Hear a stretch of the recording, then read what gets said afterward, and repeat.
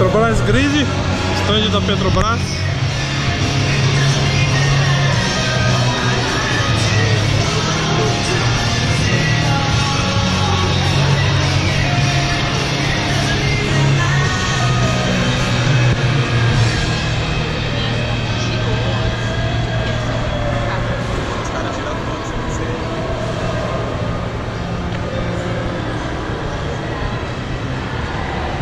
Fórmula 1 dá pra correr, hein?